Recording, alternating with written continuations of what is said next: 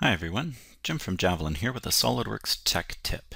I'm going to be designing a, uh, a small assembly line with three stations and I have a uh, an image here that I've created or that my uh, my sales department has created with the customer in order to kind of get an, an idea of what this layout is supposed to look like. However, if I create all of this in a top level assembly, um, it's going to be a fairly large assembly. Ideally, I'm going to have three sub-assemblies, one for station 1, one for station 2, and a third for station 3. However, within each of these sub-assemblies, I want to be able to know where the other two stations are. So to keep track of all this, I'm going to use something known as a skeleton part. For a skeleton part, what I'm going to do is I'm going to create a part that basically has this sketch along with a bunch of reference geometry in it that I'm going to place in my uh, top level assembly and I'm going to place it also in each of my in each of my sub-assemblies for stations 1 through 3. Let's take a look at how this is done. I'm going to start off in SOLIDWORKS by creating a sketch on my top plane. And in this sketch, I'm going to drop in my uh, my three stations and the conveyor as well. And I'll add the appropriate dimensions. Okay, I've added my dimensions.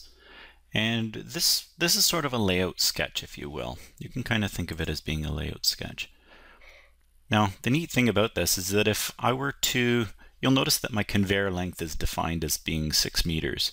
So this way, I don't end up in a situation where I could accidentally change the width of this station 3 from 1 meter to 2 meters. I would immediately notice that my conveyor is no longer going to be long enough.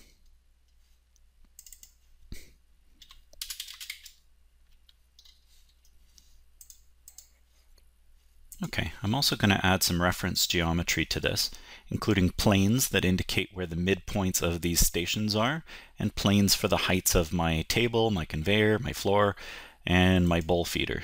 So let's do that now. So I'm just going to basically take, say, my top plane, and I'm going to offset it a certain distance. Um, let's say my table height is 36 inches.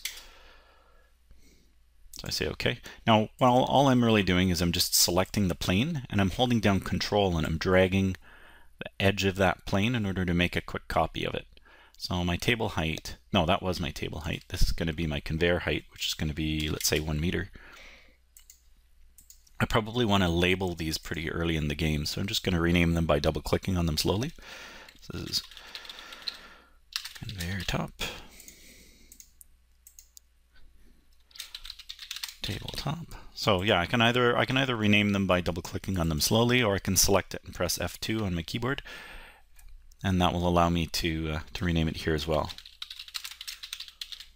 So I'm going through. I'll just uh, I'll just maybe maybe another thing I can do is I can go into my layout sketch, and maybe I want to drop a center line in the middle here, and that center line will serve as the basis for my uh, for my plane at station one at which point I can say make a plane that's collinear with that line that's perpendicular to say the top plane. I'm going to go up to reference geometry plane and that looks good. So I'll call this one station 1 center plane. And I can just go around and do do that with all of the uh, all of the other stations. Okay, so let's save this. And I'm going to save it in a folder called skeleton project and I'm going to call this one skeleton part.